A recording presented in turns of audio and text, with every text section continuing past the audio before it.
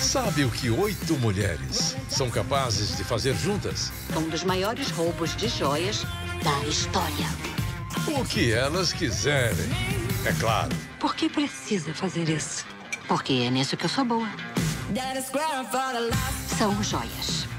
Joias espetaculares, enormes, brilhantes, trancadas num cofre 15 metros abaixo do solo. Próxima segunda, depois do BBB. Hora do show!